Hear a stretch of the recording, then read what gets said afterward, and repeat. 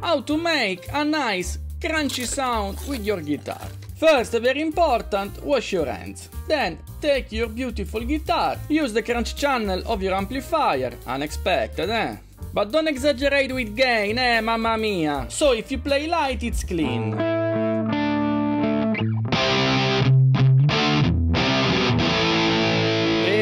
Crunchy.